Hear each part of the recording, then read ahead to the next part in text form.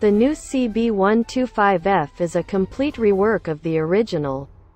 The motor has been fiddled with for more low to mid-range power and it gets a new fuel injection and exhaust system, which Honda reckon will bump up the fuel consumption to around 140 mpg.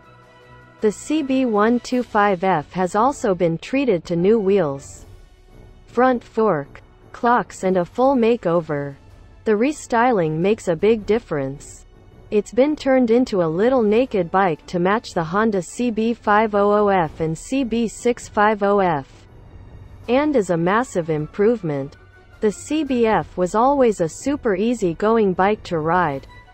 Perfect for learners. Honda claim it's now even easier after tweaking the fueling and adding engine mods to reduce vibrations and make for a smoother ride. And they're right. The little 125 is a cinch to ride and even with that little 125 motor pumping away the vibes are next to nothing. To top it all off, Honda has knocked XA3200 off, pricing the 125 at a very reasonable XA32 499. Honda's new CB125F replaces the outgoing CBF 125 for 2015, which has held the UK's best-selling bike title since 2009. On first impressions it looks like Honda are going to be hanging on to their title for a while.